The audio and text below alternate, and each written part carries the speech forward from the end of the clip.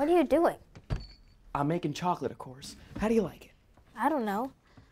I've never had any. You've never had chocolate? Still, no.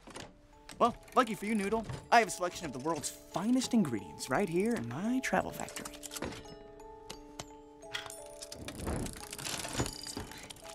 Whoa. Where to begin? That's the question. I know. Silver linings, made of condensed thunderclouds and liquid sunlight. Did you always want to make chocolate? No.